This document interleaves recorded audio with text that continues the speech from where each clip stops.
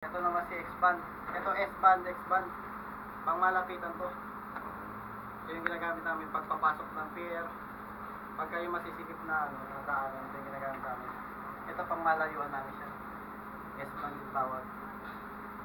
Bali, gusto nyo open ko para makita.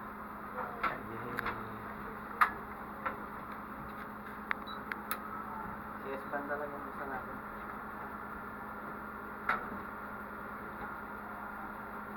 Yung radar po is ginagamit na ano, na- napakahalaga siya sa ano, navigation. Kasi ito yung nagiging mata natin paggabi. Parang siya yung ginagay, ano, pinakagay natin siya paggabi kasi wala tayong makita. Walang ilaw, walang ano. Saka pag may mga